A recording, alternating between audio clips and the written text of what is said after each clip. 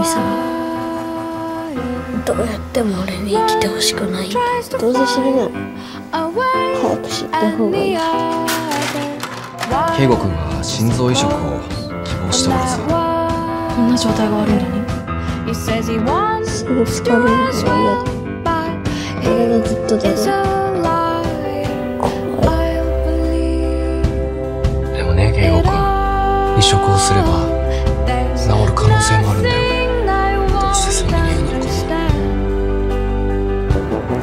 子供が死ぬのを待つのが嫌だ。それに早く子供が死んじゃいますように。お願いするみたい。だケイゴが前に言ってた。私修学旅行東京タワー登らなかった。敬語と一緒に登るって約束した俺も大金持ちになりたい いこと言ってないなんか普通の生活がしたいだけなんだってそ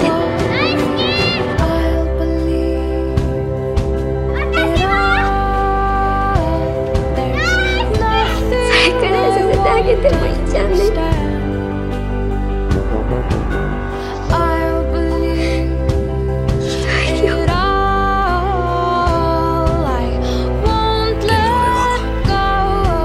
補助人工心臓も移植も植え込み型の除細動器も選択できません。あの子は死んでしまうじゃないですか。お医者さんなら治してよ。俺死ぬんでしょ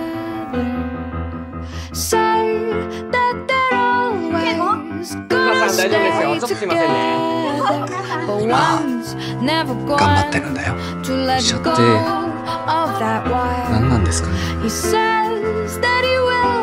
頑張ってるのにどうして元気になれない分からなくなってしまいました。何に向かって生きていけばいいのか。あいやすいません。変な話して。もう大丈夫です。明日から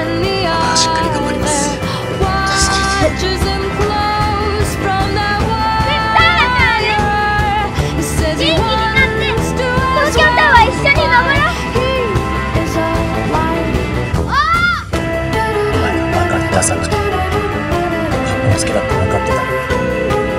大丈夫なわけない。のごめん。私死にたくない